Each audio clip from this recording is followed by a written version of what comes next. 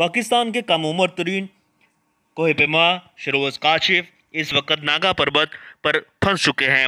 वहाँ पर वो लापता हो चुके हैं। शरोज काशिफ ने आज सुबह, यानी मंगल की मंगल की सुबह अपना ये रिकॉर्ड अपने नाम किया था कि वो दुनिया की कम उम्र तरीन कोहपेमा बन गए थे, जब उन्होंने नागा पर्वत को सर किया, माउंटेन किलर के नाम से मशहूर इस पहाड़ को किलर माउंटेन के नाम से जो मशहूर है, उसको उन्होंने आज सुबह जो है वो उन्होंने इस चोटी को सर किया था और इस वक्त वापसी के मौके पर उनका जो है वो अपने कैंप से बाहर निकलने के बाद रास्ता भूल जाने के सबब वो अपने जो बेस कैंप है, उससे रबता नहीं कर पा रहे, वो फंस चुके हैं। वहाँ पर उन्होंने एस ओ एस बटन दबा दिया है। इस वक्त शहरोज़ के वालिद काशिफ सलमान की जानब से ये कहा गया है कि उनका अपने बेटे से आखिरी रबता मंगल की शाम सात बजे टेक्स्ट मैसेज पर हुआ और वो पुरुदा के बुध की सुबह सूर्य निकलने के बाद शरोज़ और उनके गाड़ी दोबारा चलेंगे और कैंप थ्री पहुँच जाएँगे।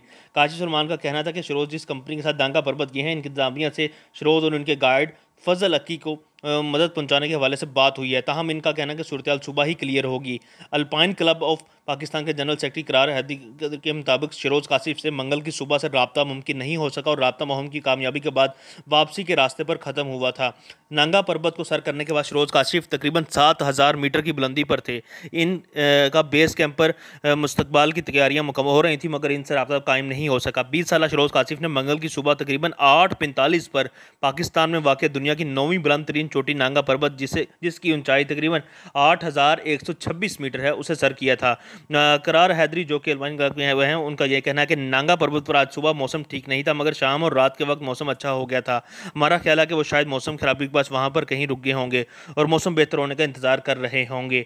ताहम, इस वक्त, इस खबर के बाहर आने के बाद जो जितनी भी कोहे पमाओं की फैमिली है और इनके शरोज़ कासिफ के चाहने वाले हैं, उनकी जानब से, उनके लोगों की जानब से इस वक्त शदीद तहफ़ात का इशार किया जा रहा है। लाहौर से ताल्लुक़ रखने वाले शरोज़ कासिफ जो हैं, इन्हें ज़्यादातर लोग ब्रॉड बॉय के नाम से जानते हैं। आठ हज़ार मीटर से बुलंद चोटियाँ जो हैं, वो कवर करते हैं। जिनमें चौदह चोटियाँ हैं, जिनमें से आठ को वो कवर कर चुके हैं, सर कर चुके हैं। इनके वालिद के मुताबिक अब शरोज़ का मिशन बाकी चोटियों को डेढ़ साल के अंदर अंदर सर करना है।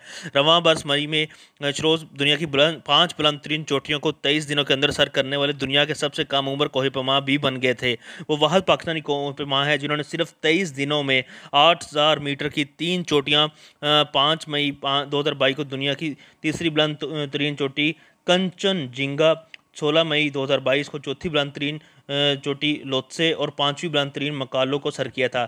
इससे कबल शरोज़ ने दुनिया की दूसरी बुलंद और मुश्किल तरीन चोटी के टू को, माउंट एवरेस्ट को, ब्रॉड पीक को और मकड़ा पीक को, मूसा सल्ला, जमरा पीक मंगलिंग सर, गोंदोलारो पास खुरदो पास और कहसार कंज को भी सर कर रखा है।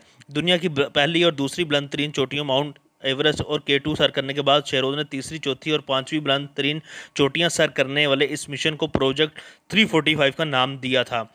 नांगा पर्वत या नंगी पहाड़ी को इलाकाई जमान में दियामिर भी पुकारा जाता है, जिसका मतलब है पहाड़ों का बादशाह यह चोटी पाकिस्तान